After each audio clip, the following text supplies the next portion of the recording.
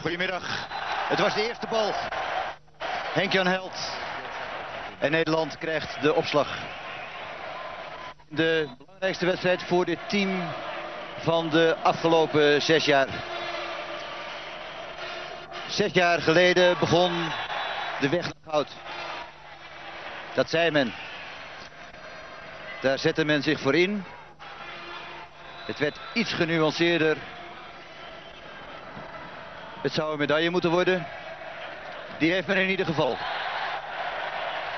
En als dit Nederlands team in deze finale tegen Brazilië vanmiddag goud haalt... dan zou dat een ongekende prestatie zijn. Want er zijn veel valkuilen en hindernissen geweest onderweg. Maar uiteindelijk staat men hier.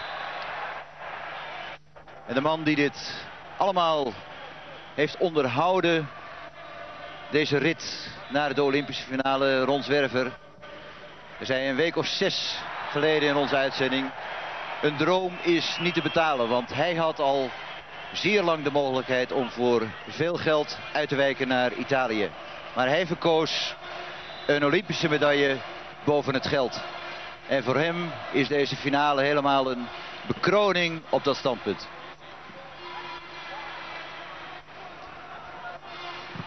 Goed blok. Jan Postema en Ron Boudry. Nederland gestart in zijn vaste basisopstelling. Met Avital Sellinger als spelverdeler. Omdat, zoals u wellicht weet, Peter Blanchet niet kan spelen. Met Jan Postuma, Ron Zwerver, Henk-Jan Held, Edwin Benne. Ron Boudry aan de opslag. En hij brengt de stand op 1-1.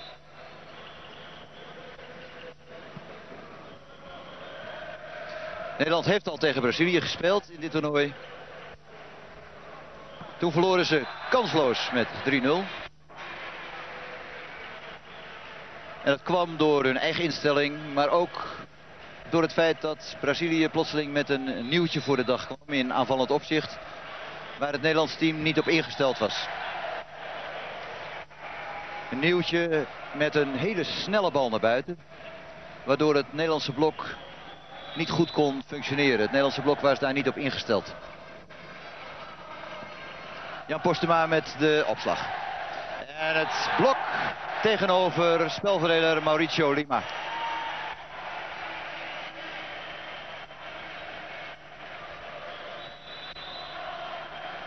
Nederland voor 2-1.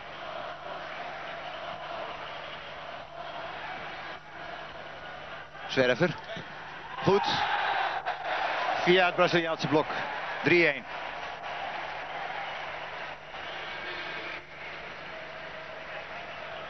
Nederland heeft zich als allerlaatste land gekwalificeerd voor deze Olympische Spelen. En Brazilië heeft aan alle Olympische Spelen meegedaan tot nu toe. Eén keer een medaille op de Olympische Spelen van 1984. Toen het de finale verloor van de Verenigde Staten.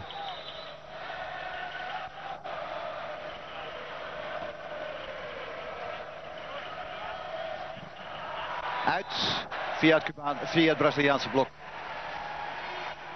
Brazilië dat in grote vorm hier naartoe gekomen is. De laatste twee wedstrijden van de World League werden met uh, 3-2 gewonnen. In eigen huis van Cuba. Het heeft ook uh, ongeslagen de groep doorstaan.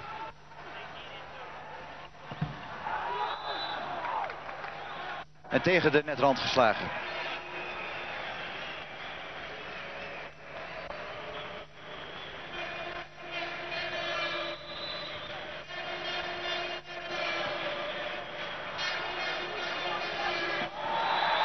Slecht gestopt. En de Brazilianen komen terug tot 3-2.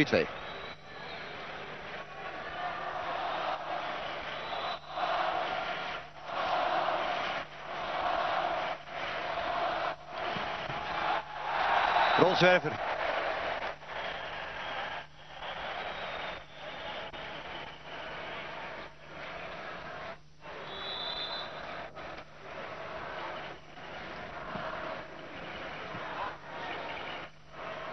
Grau, de sterkste aanvaller van het toernooi zou je kunnen zeggen.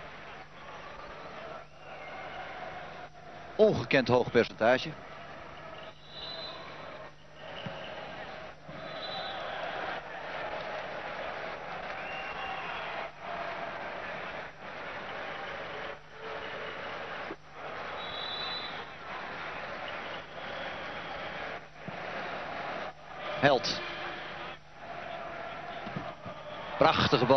Ronswerver. En dan komt hij weer. Ja, driemansblok tegenover zich.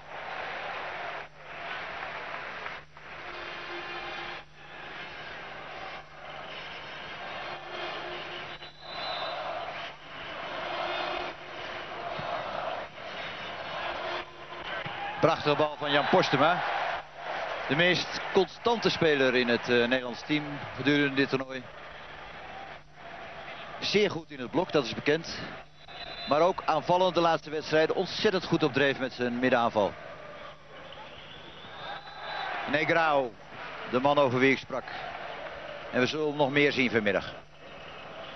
Jan Postema is een van de Italiaanse spelers die zich dus een vaste plaats in de basis verworven heeft.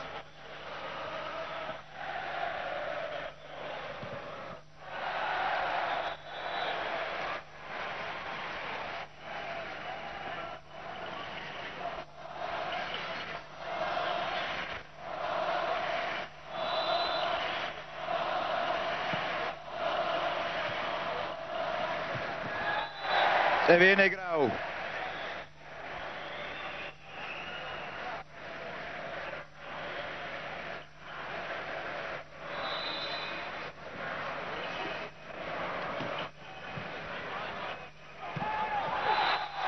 En de middenaanval van Jan Postema voor de tweede keer succesvol.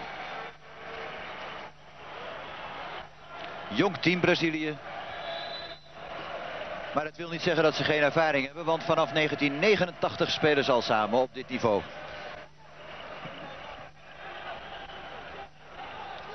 Ja, een lastige bal voor Ronswerf. Hij krijgt natuurlijk al de moeilijke ballen. Als er niks meer met een setup kan gebeuren, dan gaat hij altijd naar Ronswerver. Hij heeft dus altijd een goed blok tegenover zich.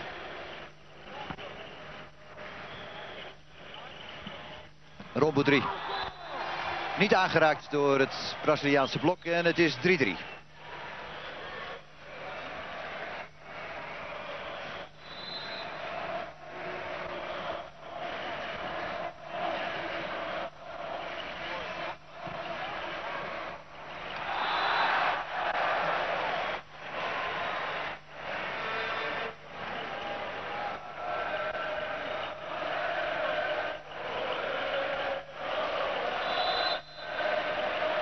Vreselijk veel Nederlandse supporters hier toch in Palau San Jordi.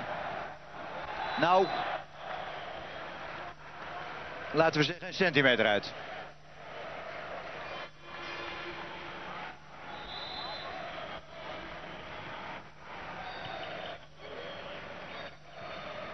Benne met uh, prachtige tactische bal.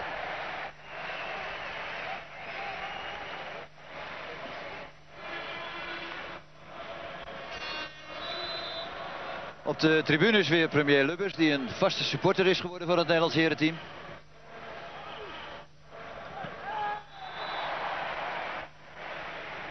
Gavio.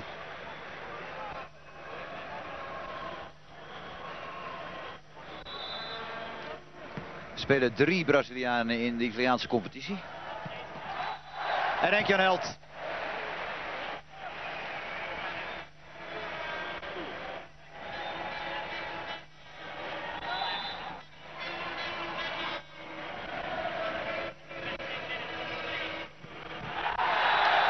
ik sprak over het blokkerend vermogen van Jan Postema.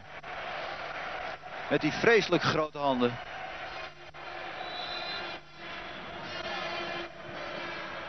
Nederland voor, 4-3. In. Telkens als er een wijziging is in de score, dan ziet u dat op uw scherm. Dus als er niks verschijnt, dan blijft de stand gelijk.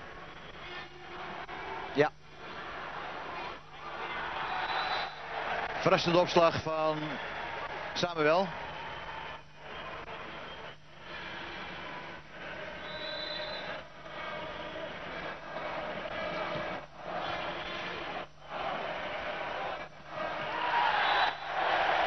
Prima bal, Edwin Benne.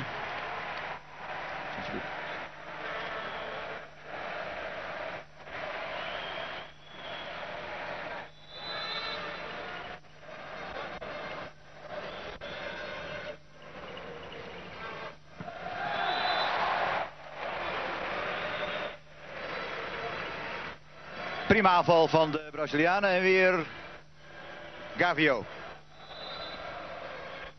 Gouveia.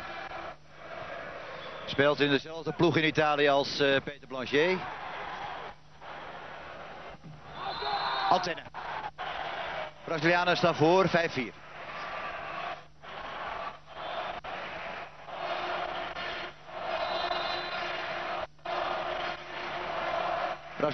Braziliaanse aanval is zeer gevaarlijk. Er wordt een ranglijst opgemaakt van de ploegen die hier meedoen aan het uh, Olympisch volleybaltoernooi. En wat betreft aanval staat Brazilië op de tweede plaats en Nederland staat op de derde plaats. Dus het kon wel eens een lang gevecht worden. Slechte stop. Afgemaakt door Ronswerver in één keer. Het is 5-5.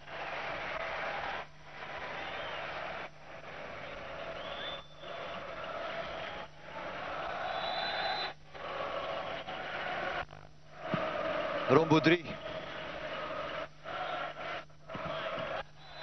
En weer die heel gevaarlijke Gavio. Hij heeft uh, Giovan uh, op zijn shirt staan, maar dat is zijn bijnaam. Er zijn nog een stuk of vier Brazilianen die een andere naam op hun shirt hebben staan dan ik zal zeggen. Maakt u zich geen zorgen. En dat is Ron Zwerver tegenover Mauricio Lima. De kleinste Braziliaan. Maar wel de meest veelzijdige. Jan Postuma. Negrao.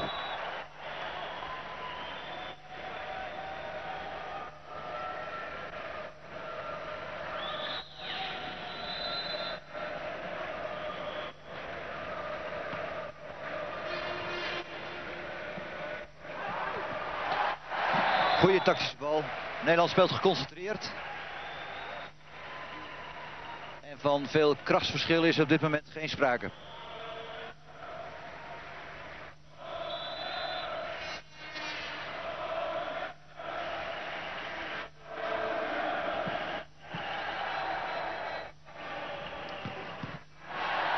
Prachtig gepakt. En nou Edwin Binnen. Driemansblok tegenover zich. Niet aangeraakt door het Cubaanse blok.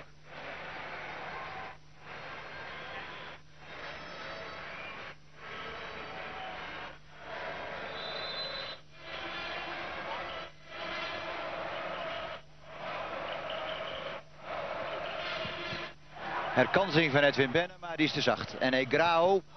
En dan onmiddellijk de revanche van Edwin Benne, want dat blok is verschrikkelijk. Komt-ie. Blijf 5-5. Te hard.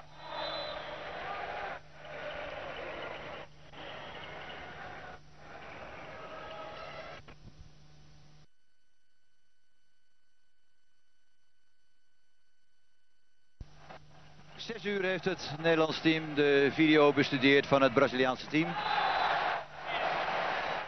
Prachtige tweede tempo aanval van Edwin Benne. Kijk, Henk-Jan Hel springt eerst op en daarachter Edwin Benne. En die heeft een volledig vrij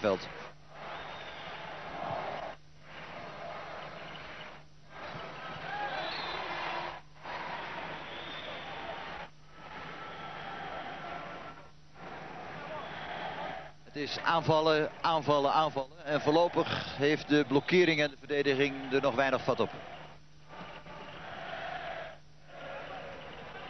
Rombo 3.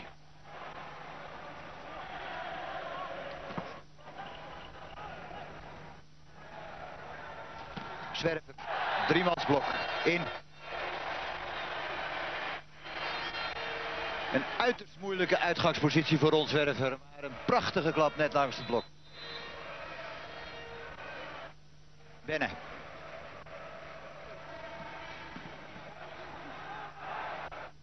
Weer hoog buitenkant naar Ronswerver.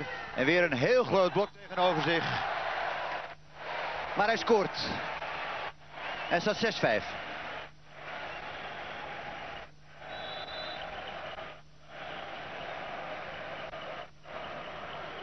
Dit is die snelle bal naar buiten.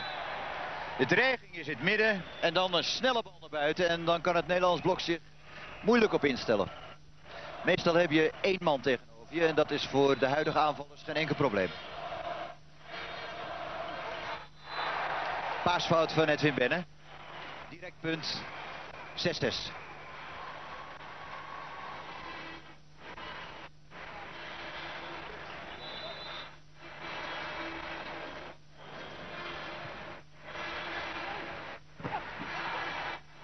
En weer Zwerver. Hij moet al het vuile werk opknappen. Negrao. Goed blok van Jan Postema. Verkeerd getimed van Gavio. En dan komt Nederland goed weg.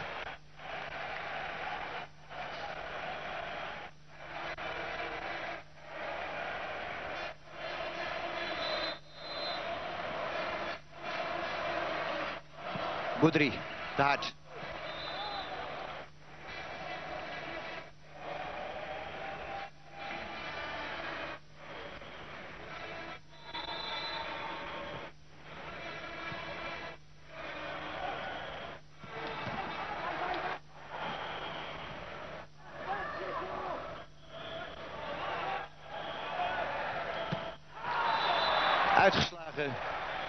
Door Henk Held en Brazilië staat voor met 7-6.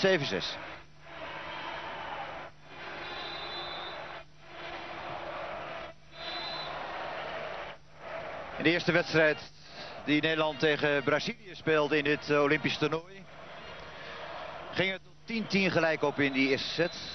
En toen raakte Nederland uh, het spoor bijster. Snelle bal naar buiten. Gavio. Bal komt zo snel dat het Nederlandse blok niet goed kan aansluiten. En dan wordt er natuurlijk over Avital Selinger heen geslagen. De spelverdeler van 1,75 meter. Uit.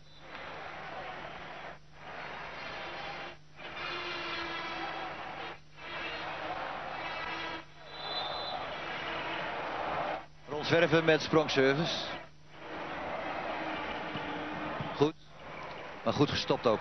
En een misverstand in de Braziliaanse aanval. Verkeerde code gebruikt.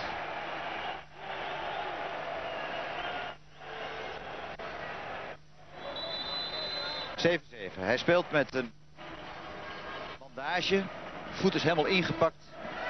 En met een pijnstillende injectie.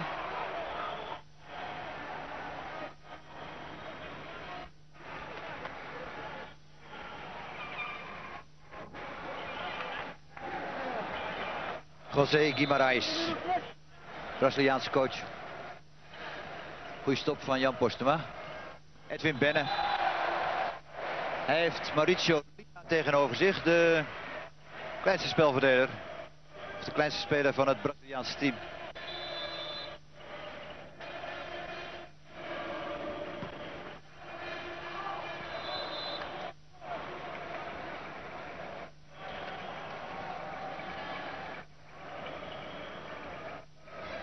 Vier keer fout geserveerd door het Nederlands team in deze eerste set.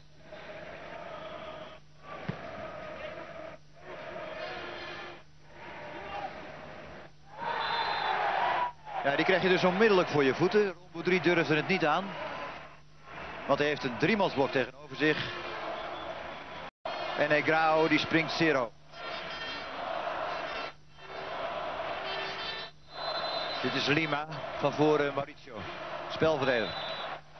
Slordigheden nu bij het Braziliaanse team. En Nederland krijgt steeds de kans om weer terug te komen in de wedstrijd. Terwijl het spel technisch misschien op dit moment ietsje de minder is van het Braziliaanse team. Prachtige middenaanval van Negrao.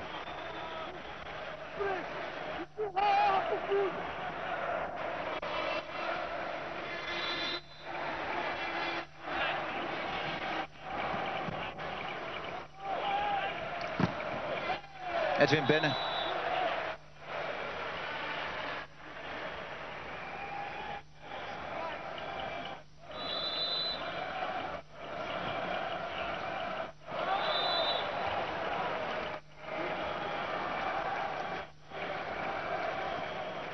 De opdracht is natuurlijk lastig serveren. U vraagt zich natuurlijk af van uh, hoe kan het nou dat die spelers fout serveren die jarenlang trainen. Ze moeten proberen om die bal zo lastig mogelijk voor de Brazilianen over het net te brengen. Een hele slimme bal van Negrao. Die hem tegen het Nederlandse blok duwt en daarna buiten de lijnen laat komen. En Brazilië leidt met 9-7. Reden voor coach Arie Stellinger om een time-out te nemen. Ziet hier de basis 6. Maar die heeft wel gehoord. Arie Stellinger die in het begin van het toernooi steeds volgehouden heeft dat de wedstrijden die toen gespeeld werden niet belangrijk waren. Dat het toernooi voor het Nederlands team eigenlijk pas begon met de kwartfinale tegen Nederland-Italië. Die bloedstollende wedstrijd waar de allerlaatste bal de beslissing gaf. Waardoor Italië uit het toernooi geknikkerd werd. Italië de favoriet voor het Olympisch goud. En Nederland doorging. En toen die wedstrijd tegen Cuba. Cuba wat door het Nederlands team met 3-0 verslagen werd in een hele goede wedstrijd. Het Nederlands team heel geconcentreerd gespeeld. Het is absoluut een onmogelijke bal bijna voor een aanvoerder. Een geweldig driemansblok tegenover zich. Maar dat is de kracht van Ronswerver. Gepakt.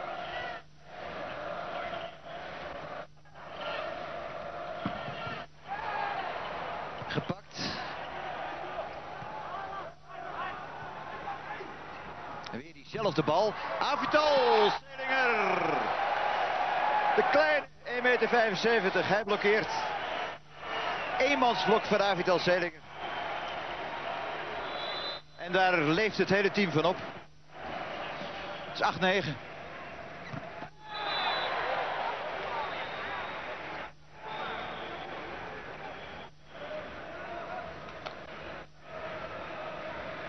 Het is een uiterst gevaarlijk wapen van het Braziliaanse team. Die snelle steek naar buiten.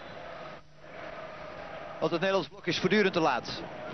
Trouwens, niet alleen het Nederlands blok, maar blokkeringen bijna. Uit. En niet aangeraakt door het Nederlands team. De smash van Gavio. 8-9.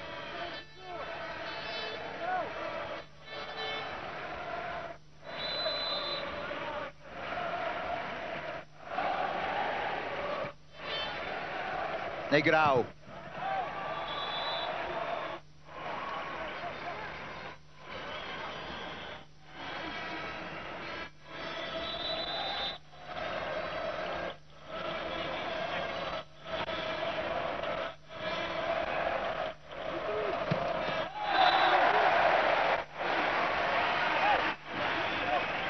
Rolswerver.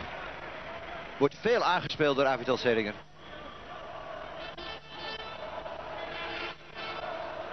En een paar keer in deze set heeft wel situaties gezien waarin er absoluut niks anders kon gebeuren dan hem een rondzwerver te geven.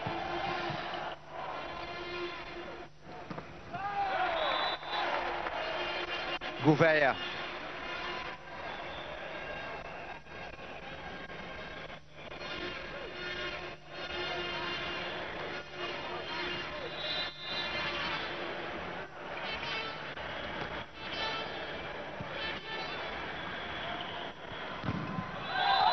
Edwin Benne. Twee stopfouten gemaakt, maar verder goed op dreef.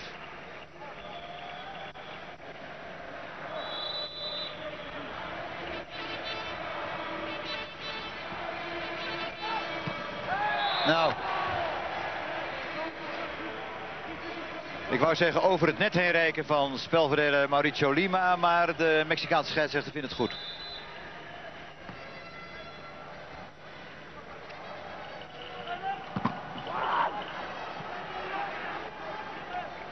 Hoog buitenkant naar de nummer 14 van de Brazilianen. Gered door de Nederlandse verdediging en nu Ron Boudry. Met dat hele sterke blok tegenover zich.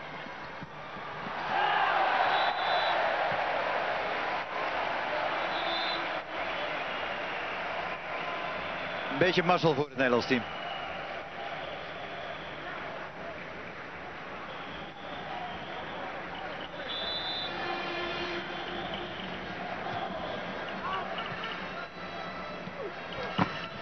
Blok van Rombo 3. En prachtig. Edwin Benne en Jan Postema. Het is 9-9.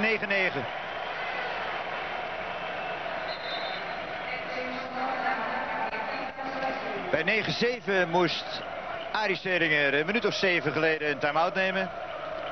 En nu is het 9-9 en neemt José Guimarães hier in beeld de time-out voor de Brazilianen. Zijn 26 minuten bezig. En de supporters die u hoort zijn voornamelijk de Nederlandse supporters. Maar de Brazilianen kunnen er ook wat van. Prachtig al. Volledig uitverkocht. Al weken voor de Spelen. Maar er is een ongelofelijke handel geweest in kaarten. Want zoals u zult begrijpen kan niemand vooraf de finale voorspellen in dit Olympisch volleybaltoernooi. En Italianen, Amerikanen die kaart hadden, die waren graag bereid om die kaart aan uh, Nederlanders en Brazilianen te verkopen. Goed blok weer. Mogelijkheden voor een Nederlands punt. Jan Postema, te zacht. Brazilianen kunnen terugkomen. Maar weer het goede blok van Postema en Benne. Daar staat nu ook tegenover ze. En dat is fantastisch. Als je goed blok hebt, dan heb je al het halve punt.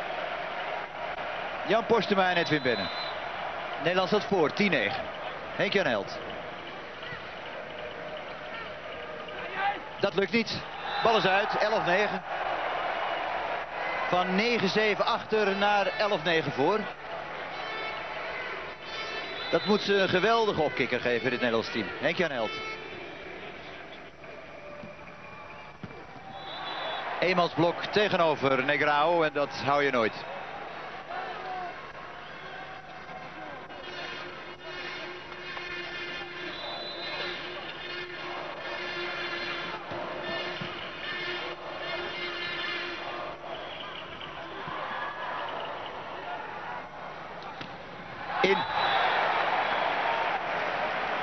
Van uh, Samuel.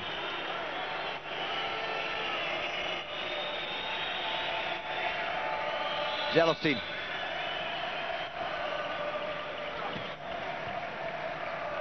Jan Postema geblokkeerd door de Negrao. Rombo 3 met een heel sterk Braziliaans blok. Twee sterkste blokkeerders naast elkaar. Hier. Het is 11-11. En dan de wissel bij Nederland. Die uh, stereotyp is. Olaf van der Meulen komt erin voor Rombo 3.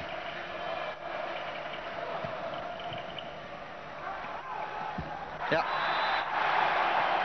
12-11. Slechte stop van Edwin Benne. Avital Selinger kon er niet goed zijn handen onder krijgen. En het is 12-11 voor de Brazilianen. Belangrijke fase van de wedstrijd. En Arie Selinger probeert de zaken weer op een rij te zetten. Arie Selinger van 1986 tot en met 1989 bij het Nederlands team. Hij zette het Nederlands team op de rails. Voltooide bijna de aansluiting met de wereldtop. Daarna ging hij voor veel geld naar Japan. Harry Brocking nam de vlag over. Maar in januari vroegen de spelers toch weer om Arie Selinger. Omdat hij misschien net die toegevoegde waarde was om ze ten eerste naar Barcelona te brengen. En ten tweede hier hoog te presteren, goed te presteren.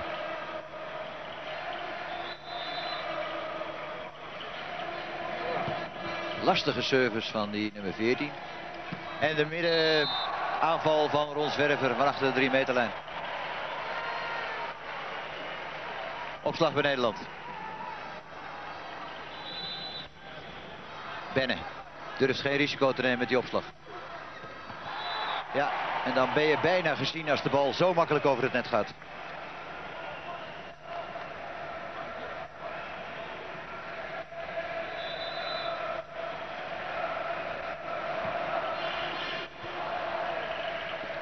En weer Ron Zwerver, hij moet het dan maar doen. En hij doet het ook.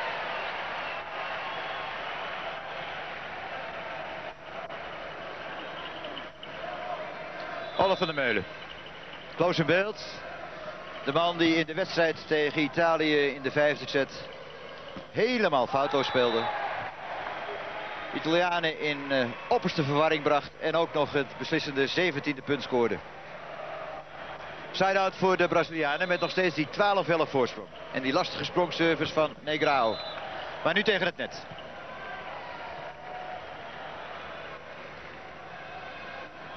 Nederland verloor de laatste twee wedstrijden in een interland tegen Brazilië. Dus in dit toernooi en daarvoor tijdens de World League. Maar daarvoor zit een serie van vijf wedstrijden achter elkaar die men won. Half uur bezig. 12-11 Brazilië.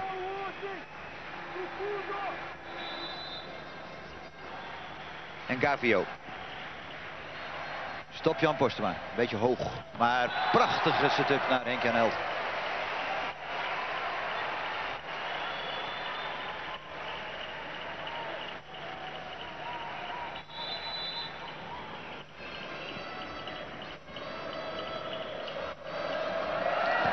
Rol Zwerver. Negrao. Brazilianen zijn ietsje sterker dan het Nederlands team. Op dit moment.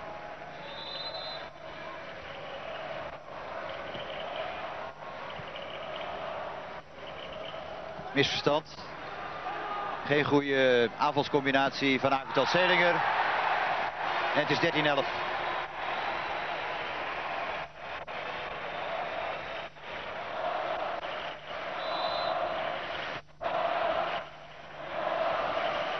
Komt Olaf van der Meulen.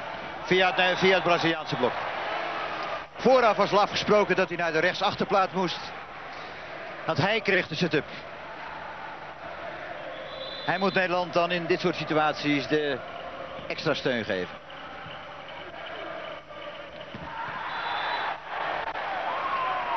Samuel. Tanden bijgenaamd.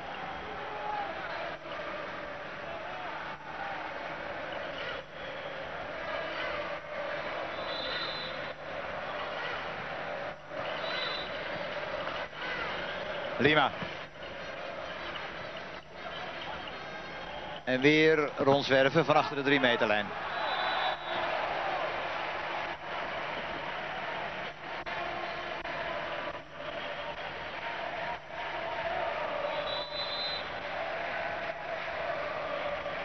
En nu het blok van Nederland. Nederland moet scoren.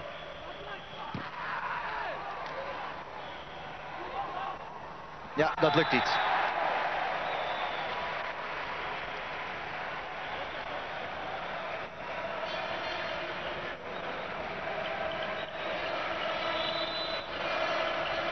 Weer diezelfde tanden met die vreselijke opslag.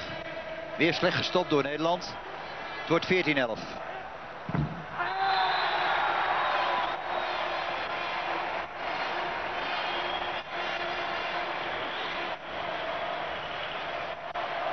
Wat fouten in dit laatste gedeelte van de set aan de Nederlandse kant. Goed geprofiteerd door Brazilië. Olaf van der Meulen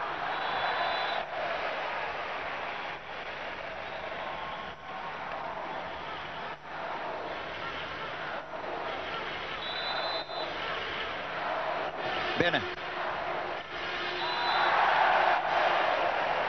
Veel te glad op het veld. Daardoor gleed Gavio uit. En daardoor werd die zwakke opslag van Benne toch nog een punt.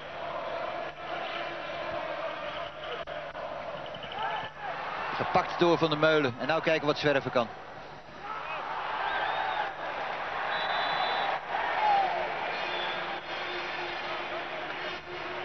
is 14-12 en het tweede setpoint voor de Brazilianen.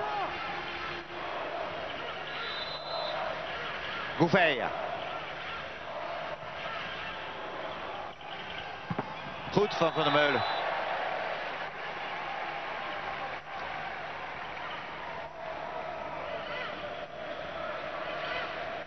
Als je ooit over een pinchhitter kunt praten, dan is uh, deze term bij hem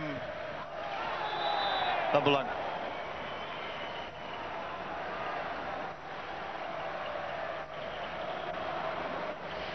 Derde setpoint van de Brazilianen, Negrao. Een slechte stop van Edwin Benne. En ik sprak over eigen fouten aan de Nederlandse kant. En Nederland verliest na 36.